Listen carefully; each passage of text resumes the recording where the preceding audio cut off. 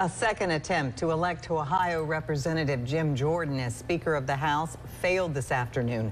12 News senior political correspondent Richard Lake spoke with one Mississippi congressman about where to go next following today's vote. Jim Jordan failed to collect the necessary votes needed to be elected Speaker of the House for the second time. For Mississippi Congressman Michael Guest, today doesn't chip away his support for Jordan. I'm going to continue to support Jim as long as he is the conference choice.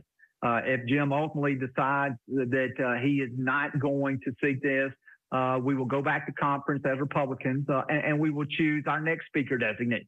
All three Republican congressmen voted for Jordan in today's vote.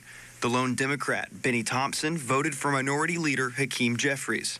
If the 217 votes needed continue to evade Jordan, a possible solution discussed among House Republicans is empowering current Speaker pro tem Patrick McHenry. The legislation would give him the authority to deal much of the day to day legislative business that we deal with in the House of Representatives. We've been paralyzed now for just over two weeks as a body, and until either we elect a Speaker or until we expand the powers of the Speaker pro tem, we will remain paralyzed. In the meantime, 22 Republicans voted no on a Jim Jordan speakership today, and the path forward remains unclear. I think with some of the, the no votes, uh, I think that they'll be able to find common ground. Uh, but I think that there are others that, that appear to be very dug in. I think that within the next day or so, that uh, Jim may have to really uh, look at, at, at where he is. Uh, does he think that there is a legitimate path for him to reach 217? The next floor vote will be held on Thursday.